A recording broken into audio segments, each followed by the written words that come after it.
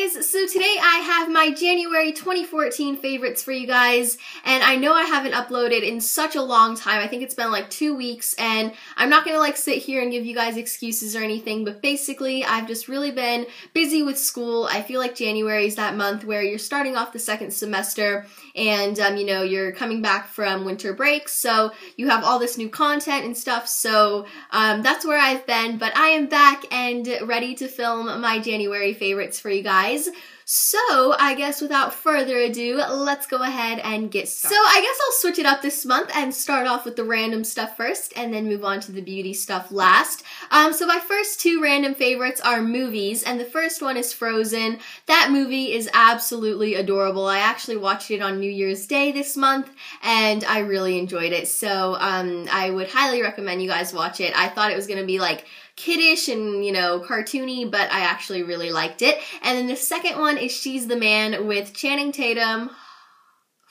Yes, Channing Tatum and Amanda Bynes. That movie is absolutely hilarious. Definitely one of my all-time favorites. I watched it, I think, like three times this month, and um, I'm absolutely obsessed. It's hilarious. So um, you guys should definitely check out those two movies.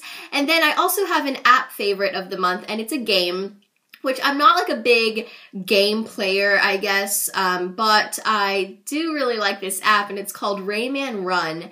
And um, basically, it's just like you're trying to run and jump and get all these little firefly things in the game. I don't know, it's just really addicting. So I've been playing that all month. And then my two favorite songs would be Timber by Kesha and Pitbull, which I think I talked about in my last video, my Q&A video. And then also Say Something. And so I will link those two songs down below if you guys haven't listened to them. I feel like Say Something is a very sad, like slow song, but I can really relate to it and I just really like it and I don't know. So I'll link those two songs below if you guys have not checked them out. And now moving on to all the beauty and fashion goodies. So the first thing that I have is a fashion item and it's actually a pair of leggings. Like when are leggings gonna become pants? Like are they acceptable? I feel like they are. I wear them so much, at least like three times a week. Um, but they look like this. They're just regular like long black leggings or whatever. But the awesome thing about these is the inside of these, they're fuzzy. Like they are super fuzzy and so warm and comfortable. And, um, you know, I was just wearing my regular like black leggings, which were so paper thin. And then uh, my mom actually introduced me to these and um, she like has a pair and she really likes them. So she got these for me and they are amazing. And so um, it's been really cold here lately. So these leggings are awesome because they're actually like nice and warm and fuzzy on the inside. And she got these from TJ Maxx. I don't know if they still still sell these, but it's by the brand Just One. Um, so check these out if you have these at your local TJ Maxx because they're amazing and they're only like six or seven dollars. So this has definitely been like my all-time favorite fashion item of the month because I wear these at least like three times a week. It's crazy. I love them. So moving on to hair, this month I actually tried out a new conditioner which I really have been loving and it's by Organix and it's the Renewing Argan Oil of Morocco conditioner. Um, I've always wanted to try this and I just finally kind of was starting to run low on all my conditioners and shampoos and stuff. So I picked up this one and I have been loving it. I definitely think it's really nice. It has like a nice, um, almost like vanilla smell to it but it's almost like a little bit citrusy at the same time. I don't know. But I really like it and I definitely think it really moisturizes my hair, keeps it like really nourished and silky, and I almost feel like it makes my hair dry faster. I don't know, it's kind of weird, but I've really been liking it and it's around like five or six dollars, so definitely check it out. I just got mine at Target. So moving on to skincare, I have one product and that would be the Clean and Clear Blackhead Eraser Scrub. And my dad actually gave this to me because he wasn't using it I don't know. And so he gave this to me and I have been loving it. I definitely can see a significant difference.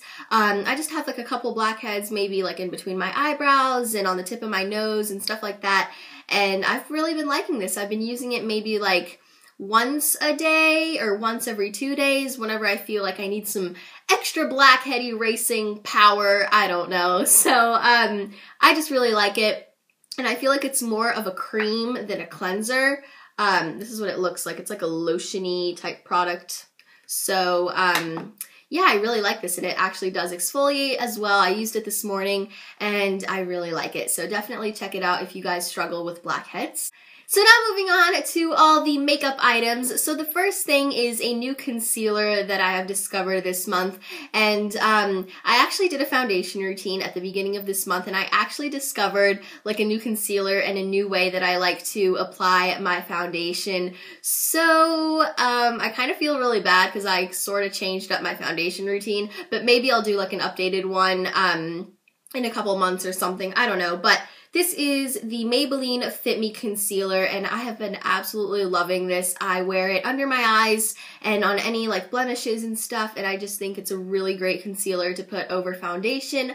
Um, and I have the shade 15 Fair, which I believe is like the lightest or the second lightest. I always go a couple shades lighter in concealer um, because, you know, I want to brighten up the area like under my eyes and stuff like that. So I don't know, I've just really been liking it. It's around $7, I think, and it's super creamy and um, I think it's a great concealer. So definitely um, check this out and I would highly recommend it. And then also kind of going along with my new foundation routine and stuff, um, is a sponge and this is the Beauty Blender dupe, I guess. I got this at Ulta, um, like in those little bins that they have around the checkout line. Um, it's like this purple color, and as you guys can see, I've definitely been using it a ton, um, and I just really love this. It's a little moist, actually. It's a little damp because you're supposed to run this underwater, squeeze out the excess water, and then use it to apply your foundation. And so I just did my makeup because I'm filming this video in the morning, so, um, yeah, it's a little wet, but I just love this so much. I think it gives such a natural finish to the skin, and um, you really can't tell that you're wearing makeup at all. So I really like it, and I use the um, bottom of it like on my cheeks and on my forehead, and then the little tip like around my nose and my mouth and under my eyes and stuff like that. So really highly recommend it. It was around like $6. I don't know the brand. Um, it just said like precision blending sponge or something like that. So next I have a lip product and I think I've talked about these before in maybe like one or two videos of mine, but I have another NYX Butter Gloss. What a surprise. I'm absolutely obsessed with these and I love them. So this is the NYX Butter Gloss in the shade Tiramisu. It's just a really naturally like rosy nude and I absolutely love this. This was actually um, a recommendation and I'm so glad I bought this. I love the formula as I do with all my other butter glosses. I kind of want every single color. If you follow me on Twitter, you know it. You know, I tweet about these all the time because I love them. I'm obsessed. Definitely one of my favorite lip gloss formulas and the color is absolutely amazing. So definitely check this lip gloss out.